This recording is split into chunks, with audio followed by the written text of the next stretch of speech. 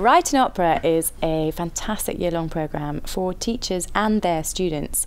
The teachers will start off on a residential course for a week, which is pretty intensive but incredibly fun.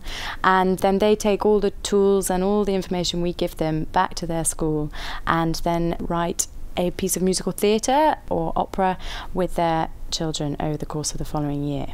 Write an Opera is for anybody who believes in creativity and wants to maybe rethink about the way they teach and how learning is happening. It covers a lot of bases in terms of the art forms it uses. So there's music, drama, theatrical arts, there's design, as lighting design.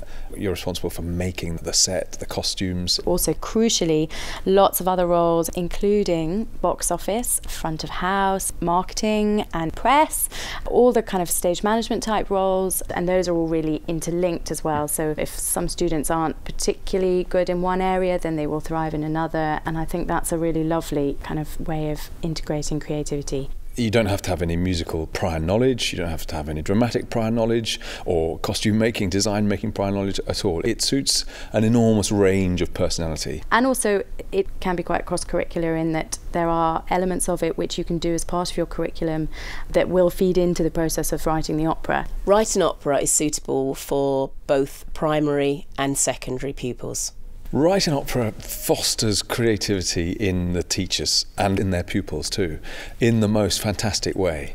And the key thing is that the pupils themselves and the teachers in the residential week are responsible creatively for everything.